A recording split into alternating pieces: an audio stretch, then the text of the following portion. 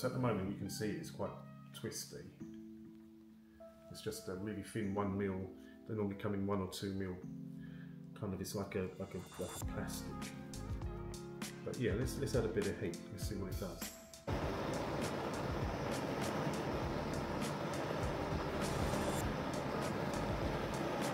Here's our uh, hinge.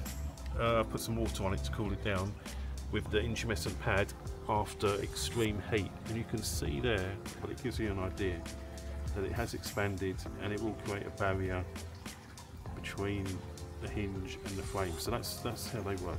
Okay so there we have it. A uh, fire rated grade 13 hinge. I'd love to know what you guys think.